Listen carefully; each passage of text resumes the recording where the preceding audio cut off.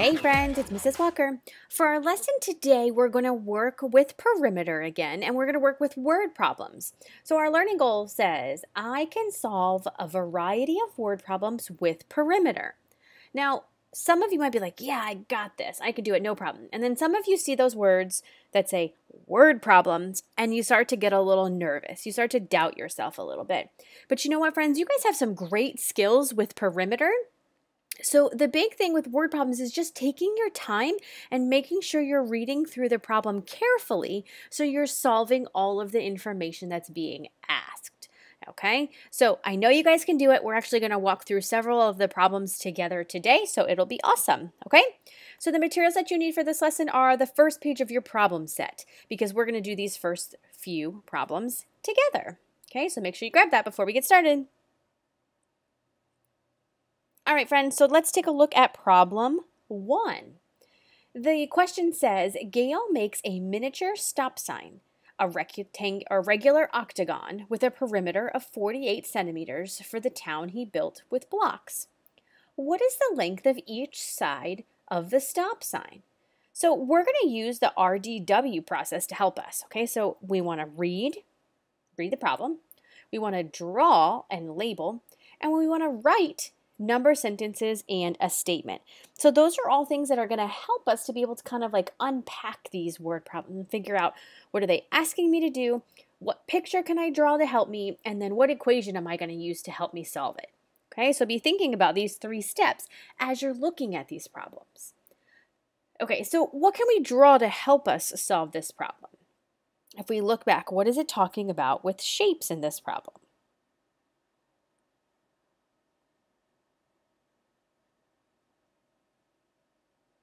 Yeah, we can draw an octagon, right? Because it's telling us a regular octagon. Well, we know that an octagon has how many sides? It has eight sides, right? Like an octagon is like an octopus, right? That helps. That's what helps me remember how many sides for an octagon.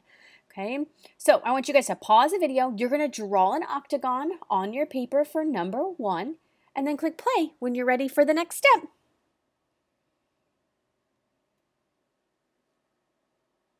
All right, friends, so we can draw an octagon to help us, okay? So here's your octagon.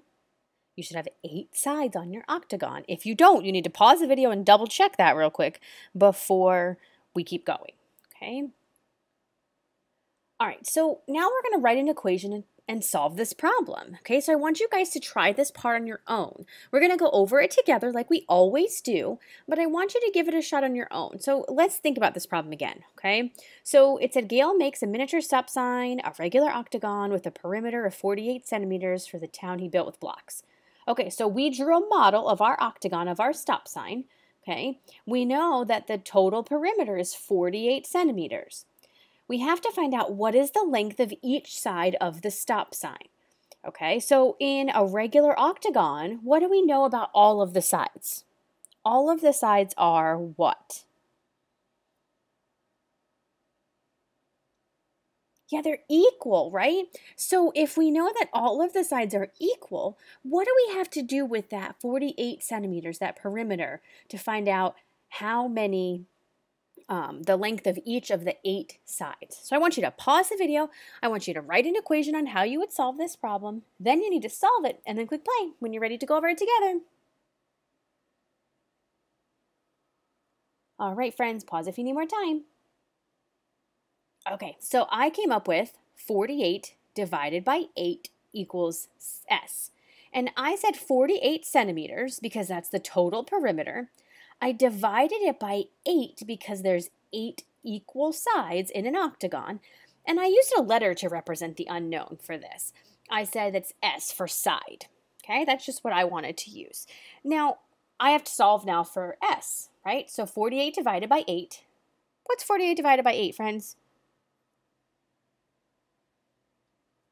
Yeah, it's 6. Okay, so 48 divided by 6 or 48 divided by 8 equals 6. Well, uh-oh. What is missing, friends? I'm missing something. Do you guys know what I'm missing? Oh, yeah. We need the unit, right? Centimeters. I was missing the unit of measure. Okay, remember we've talked about in the past. This could have been six cats, six dogs, six inches, six yards, six miles. I don't know. But in the problem, it tells us centimeters. So when it gives us the unit, you need to make sure that you are labeling the unit in your answer.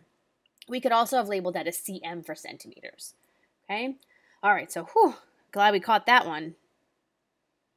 Okay, so friends, after you finish solving each word problem, you want to think about the following. So here's some things that you can kind of get your mind going, and these things will help you kind of validate and explain if your answer is reasonable uh, to match the problem.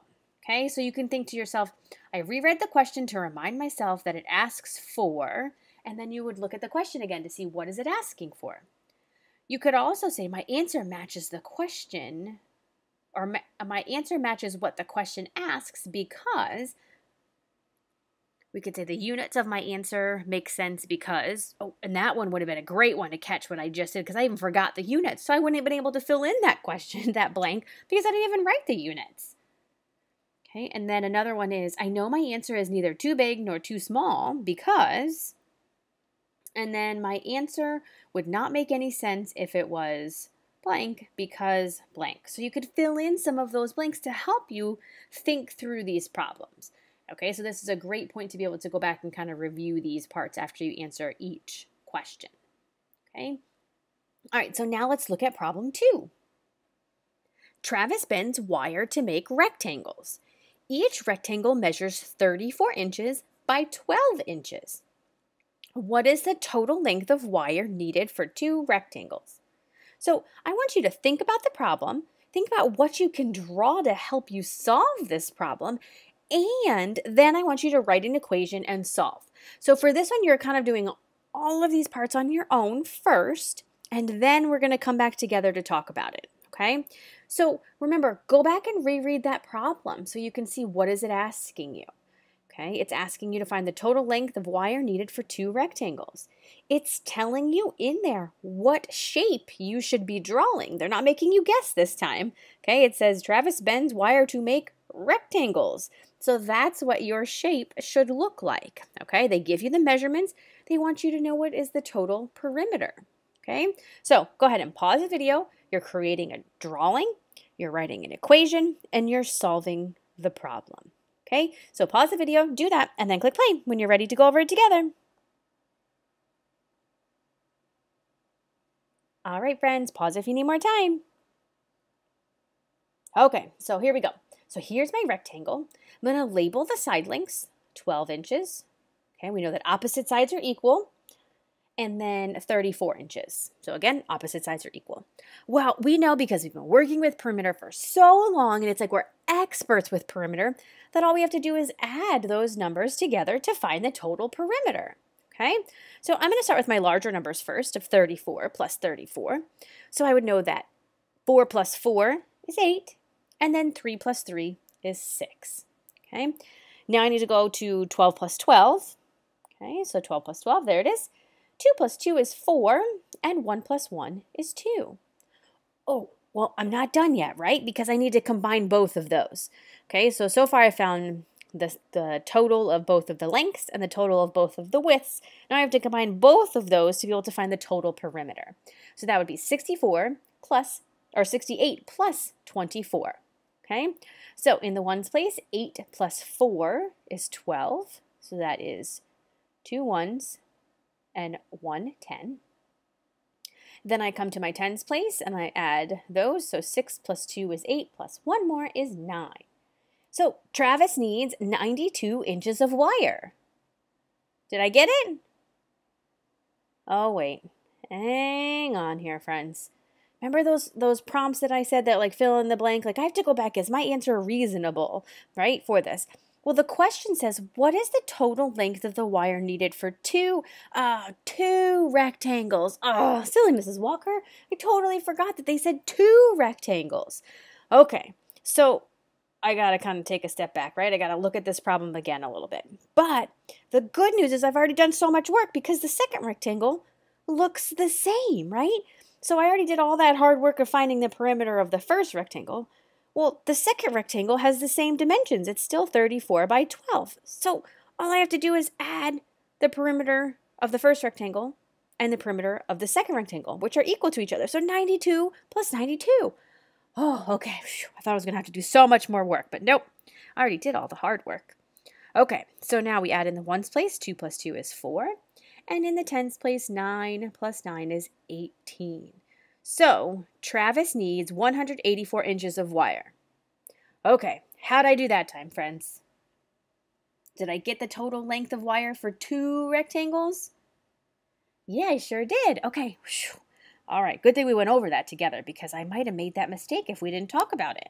Okay, so it's always good to go back and check your work and really think about am I answering this question? All right, so let's jump to problem three. It says the perimeter of a rectangular bathroom is 32 feet. The width of the room is 8 feet.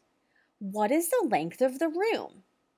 Okay, so I want you guys to think about what you can draw to help you solve this problem, and then you're going to write an equation and solve.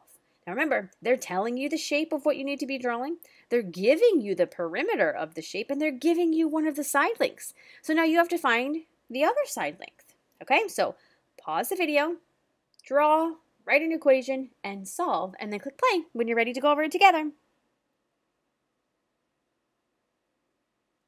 All right, friends, pause if you need more time. All right, so here we go. So here's my rectangle. We know that the width is 8 feet, okay? So no opposite sides are equal, so I can label both of those. Well, I don't know the length, so I'm going to leave those as a question mark, okay? Now, in my problem, I have 32 and 8, so I, I know it's not going to be multiplying those because that would be way too big. So I'm just going to divide them. I'm going to do 32 divided by 8, and I know that that equals 4. So I'm going to label these sides as 4. Now, what I need to do here, friends, is I need to check the perimeter, right? So I need to add up all of those numbers because it should equal 32 feet. Okay, so now let's try it. So I know that 8 plus 8, I'm going to add the opposite sides first, is 16. And then 16 plus 4 more would be 20. And then 20 plus 4 more would be 24 oh, oh, I gotta try again, right? Because 24 feet, uh, 24 feet is not the same as 32 feet that's listed in the problem. So I got, I must have done something wrong. So I don't know. Let's wait. Wait, wait, wait, wait. Hang on, friends. I know, I know, I know what we could do. I can use the strategy we've learned in the previous lessons, right? Where we've divided the perimeter in half and then found the pairs that add up to that. Oh, yes. Okay, so friends, I know how to do this. Okay, all right, so we're going to do 32 divided by 2, right? Because we're halving it. Okay, so that might take a little bit of thinking, but that's okay. I can figure it out. 32 divided by 2. Oh, oh, I know. It's 16. Okay. Now, if that number is too hard for you to figure out, friends, you can do the fair share strategy, right? Draw two little boxes. You could draw uh, like a quick draw on your dry erase board or on your paper, and you could do one, one, one, one. You could go like, right, go back and forth until you count up to 32. So it would be one, two, and then go to the other box, three, and then the other box, four. Like keep going back and forth, and you would end up with 16. Okay. So now that I know that it's 16, Okay, I know that the pairs have to add up to 16. Well, one of the sides is 8. It already told me that. So now I need to know what 8 plus what equals 16. Oh, that's a doubles fact. 8 plus 8 equals 16. Oh my goodness, no way. So it's going to be 8. So I'm going to take both these away and I'm going to see if it's 8. Okay, now I have to check my perimeter, right? Just like we did before. So really, these are all of them are eight all the way around. Oh, so my drawing is actually a little bit off because if it's if this is correct, this should be a square, right? All sides are equal, but that's okay. My drawing doesn't have to be perfect or focused more on the math than the drawing. But I can check this by doing 8 times 4, right? Because all of the side lengths are 8 and there's 4 side lengths. Well, I know that 8 times 4 is 32. So the length of um, the length of the room is eight feet. Yes, because the perimeters match, so that means my side length is Correct. Okay, awesome. All right, friends, now I hope that you guys got those three problems correct. But if you didn't, I hope it was super helpful to be able to walk through and talk through these problems together. Okay, so Boom! You guys did a great job solving word problems with perimeter. Please head back on over to the module to see what you need to complete for your independent practice. As always, if you have any questions, please let me know. I'd be more than happy to help. And I hope you guys have a great rest of your day. Bye, friends!